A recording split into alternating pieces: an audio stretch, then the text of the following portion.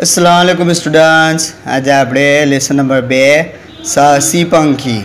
તેનું આપણે શું કરીશું? તેનું આપણે રિવિઝન કરીશું. તેમાંથી શ્રમનું મહત્ત્વ મૂલ્ય પ્રાપ્ત થાય છે. સાહસી એટલે કે બહાદુર પક્ષી. શક્તિશાળી પક્ષી થાય છે. શક્તિ. સાહસી એટલે કે શક્તિ ને બહાદુર પણ એનો અર્થ થાય છે. તો રહી ઝાડ પાસે ઊભી રહીને નાનકડી ચકલીને જુએ છે. તો નાનકડી ચકલી ઝાડ પર બેઠી હોય છે તે રહી જુએ છે. દાદી, આ નાનકડું પક્ષી શું કોઈકને મદદ કરી શકતું હશે? તેઓ કહે છે, રાહી, આ સંસારમાં દરેકે દરેક જીવ ખૂબ જ ઉપયોગી ઉપયોગી છે. તેવું એની દાદી સમજાવે છે કે દરેકે દરેક પક્ષી એટલે કે દરેકે દરેક જીવ આ સંસારમાં ઉપયોગ, ઉપયોગી નીવડે છે. કે અહીંયા વાંચીએ છીએ આપણે જંગલમાં ડવ લાગ્યો હતો. દરેક પશુ, પંખી અને પ્રાણીઓ પોતપોતાનો જીવ બચાવવા દોડી રહ્યા હતા. દરેક પ્રાણીઓ પોતપોતાના બચ્ચાઓને જીવ બચાવી ભાગી રહ્યા હતા. પક્ષીઓ દૂર દૂર સુધી ઉડવાનો પ્રયત્ન કરતા હતા. ડવમાંથી ભડકો થઈ રહ્યો હતો. એટલે કે જંગલમાં અચાનક આગ લાગી હતી એટલા માટે તેને તેમાં પ્રાણીઓ, પક્ષીઓ દોડધામ કરી રહ્યા હતા અને પોતપોતાના બચ્ચાઓને જીવ બચાવી તેને ભાગી રહ્યા હતા. નાનકડા પક્ષીના મનમાં વિચાર આવ્યો, મારે આ ડવને ઓલવવો છે, ઓલવવો જ છે. એટલે તળાવના કિનારે જઈને પોતાની ચાંચમાં પાણી લાવી ડવ ઉપર નાખવા લાગ્યું. જંગલમાં રાજાએ લાલુસિંહ ભાગતા ભાગતા આ જોયું. નાનકડા પક્ષીએ પક્ષીને પક્ષીને પૂછ્યું, અરે, તું આ શું કરી રહ્યું છે? ત્યારે તેણે જવાબ આપ્યો, હું આ ડવને ઓલવવાનો પ્રયત્ન કરી રહ્યો છું. સિંહ બોલ્યો, પણ તું આ એકલું આ કાર્ય કેવી રીતે કરી શકશે? નાનકડા પક્ષીએ ખૂબ ઉત્સાહથી એને ધીમે ધીમે ધીમે ધીમે પણ જરૂરથી આ આગને ઓલવ, ઓલવશે. પક્ષીને, પક્ષીની આ વાત સાંભળી સિંહને વિચાર આવ્યો કે જો આ નાનું પક્ષી આગ ઓલવવા માંગતું હોય તો અમે બધા પ્રાણીઓ પણ કરી શકીએ છીએ. સિંહ અને જંગલના પ્રાણીઓ, પક્ષીઓ ભાગવાને બદલે તળાવમાંથી પાણી લાવ્યા અને જંગલમાં દાવ પર ઓલવ્યો. નાનકડા નાનક નાનકડા જીવની પહેલથી બધાએ મુશ્કેલ કાર્ય પર સફળતા મળે છે.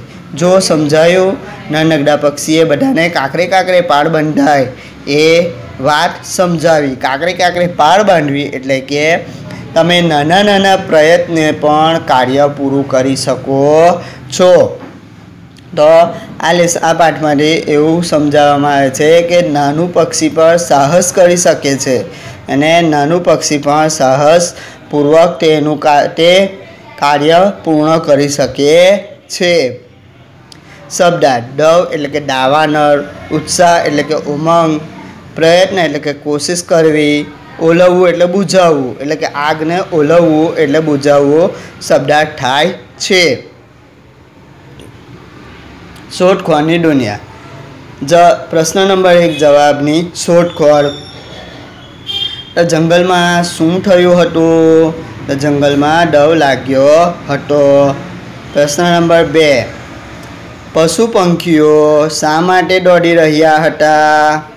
તો એનો જવાબ આવશે, પશુ પંખીઓ પોતાની જાન બચાવવા માટે દોડી રહ્યા હતા. પ્રશ્ન નંબર ત્રણ. પક્ષીના મનમાં શું વિચાર આવ્યો? તો એનો જવાબ આવશે, પક્ષીના મનમાં વિચાર આવ્યો કે મારે આ ડવને ઓલવવો છે. પક્ષીએ સિંહને ઉત્સાહપૂર્વક શું જવાબ આપ્યો? તો એનો જવાબ આવશે, પક્ષીએ સિંહને ઉત્સાહપૂર્વક જવાબ આપ્યો કે, ધીરે ધીરે પણ જરૂરથી આગ ઓલવશે. ધીરે ધીરે પણ હું આગને જરૂરથી ઓલવીશ. ચાલો પ્રશ્ન નંબર પાંચ. સિંહના મનમાં શું વિચાર આવ્યો? જો આ નાનું પક્ષી આગ ઓલવવા માંગતું હોય, તો અમે બધા પ્રાણી પણ આ કાર્ય કરી શકીએ છીએ. તો તેઓ સિંહના મનમાં વિચાર આવે છે. નંબર છ. જંગલના પશુ પંખીઓ સાથે મળીને કયું કાર્ય કર્યું? તો જંગલના પશુ પંખીએ સાથે મળીને તળાવમાંથી પાણી લાવીને જંગલના ડવને ઓલવ્યો. એ પ્રશ્ન નંબર સાત, આ પાઠમાંથી શું બોધ મળે છે? તો આ પાઠમાંથી બોધ મળે છે કે કાંકરે કાંકરે પાળ બંધાય, એટલે કે મહેનત કરવાથી મુશ્કેલ કાર્યમાં પણ સફળતા મળે છે. તેઓ આ આ પ્રશ્નમાં લખવાનું રહેશે. એટલે પાઠમાં પણ તમને મેં સમજાવ્યું ને કે મહેનત કરવાથી સફ, મહેનત કરવાથી મુશ્કેલ કાર્યમાં પણ સફળતા મળે છે. પ્રશ્ન નંબર બે સમાનાર્થી શબ્દ શોધખોળ. તો સમાન અર્થવાળા શબ્દ આપણે શોધવાના છે. ડવ એટલે કે આગ પંખી એટલે કે પક્ષી, પ્રયત્ન એટલે કે કોશિશ, સિંહ એટલે કે સાવજ, જવાબ એટલે કે ઉત્તર, પ્રાણી એટલે કે પશુ અને જાનવર પણ થાય છે. તળાવ, જળાશય અને સરોવર પણ થાય છે. જંગલ વન, એનો સમાનાર્થી શબ્દ શું થાય છે? વન. પાણી, જળ અને નીર, આ ત્રણ શબ્દ પણ થાય છે. બાઘ, ખ, સોરી ખગ. ખગ એટલે કે પક્ષી અને પંખી પણ થાય છે. એનો સમાનાર્થી શબ્દ, એનો જવાબ થાય છે. ચાલો, પ્રશ્ન નંબર ત્રણ. વિરોધી શબ્દની શોધખોળ. વિરોધી શબ્દ એટલે કે અપોઝિટિવ શબ્દ થાય છે. અપોઝિટિવ શબ્દમાં જોઈએ કે નાનું તો એનો વિરોધી શબ્દ શું બન્યો? મોટું. સવાલ, તો એનો વિરોધી શબ્દ શું બને છે? જવાબ. દૂર એનો વિરોધી શબ્દ શું બને છે? પાસે. સરળ એનો વિરોધી શબ્દ શું બને છે કઠિન અને મુશ્કેલ. પ્રશ્ન નંબર ચાર. નીચે આપેલા ચિત્રને ઓળખી તેના નામ લખો. એટલે કે પિક્ચર આપેલા છે તમને, તો પિક્ચરને ઓળખીને તેના નામ ગુજરાતીમાં લખવાના રહેશે. આ શાનું પિક્ચર છે બેટા? સિંહનું તો ચાલો બેટા, આ શાનું પિક્ચર છે. આ છે સિંહનું પિક્ચર છે. તો એને ગુજરાતીમાં તમારે સિંહ લખવાનું રહેશે. આ શાનું પિક્ચર છે બેટા સસલું. તો એનું નામ ગુજરાતીમાં તમારે આ બોક્સમાં લખવાનું રહેશે સસલું. આ શાનું પિક્ચર છે બેટા કમળ. તો તમે ઇંગ્લિશમાં શું બોલો છો એને? લોટસ. તો ગુજરાતીમાં એને શું લખવાનું? કમળ. આ પિક્ચર આનું છે, ઘર. તો એને આપણે ગુજરાતીમાં પણ અહીંયા એને શબ્દમાં લખવાનું છે, ઘર. ચાલો. પ્રશ્ન નંબર પાંચ. જંગલના રાજા સિંહ વિશે પાંચ છ વાક્ય લખો. તો જંગલમાં જે સિંહ રહે છે, તેના બારામાં આપણે પાંચ છ વાક્ય લખવાના છે. તો સિંહ એક જંગલી પ્રાણી છે. સિંહનું મોઢું ભરાવદાર અને કેડ પાતળી હોય છે. સિંહની ડોક પર લાંબા વાળ હોય છે. એને કેસવાળી પણ કહેવાય છે. સિંહનો રંગ કેસરી હોય છે. સિંહને અણીદાર તેમજ મજબૂત દાંત હોય છે.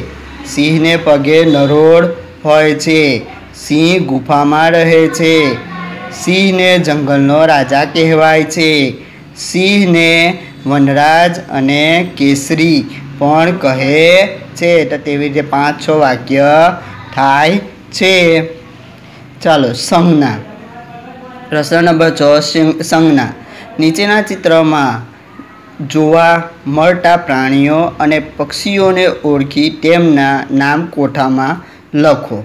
તો આપણે આ પ્રાણીઓ અને પક્ષીઓના ના, અહીંયા પિક્ચર આપેલા છે. તો કયા કયા પક્ષીઓ છે અને કયા કયા પ્રાણીઓ છે તે તમારે અલગ તારવવાનું છે. તો મોર, સિંહ, વાઘ, સસલું, હરણ, કાગડો, ચકલી ને પોપટ. તો આ પક્ષીઓ પણ છે અને પ્રાણીઓના નામ પણ અહીંયા આપેલા છે. તો પ્રાણીઓના નામ અને પક્ષીઓના નામ. તો પ્રાણીઓમાં કયા કયા પ્રાણીઓ આવે છે? તો સિંહ, વાઘ, સસલું અને હરણ. પછી બીજા કોઠામાં છે પક્ષીઓના નામ. તો પક્ષીઓ કયા કયા પક્ષીઓ આવે છે? તો મોર, કાગડો, ચકલી ને પોપટ. તો અહીંયા, વાલા વિદ્યાર્થી મિત્રો, અહીંયા આ તમારો પાઠ પૂરો થાય છે. અલ્લાહ હાફિઝ.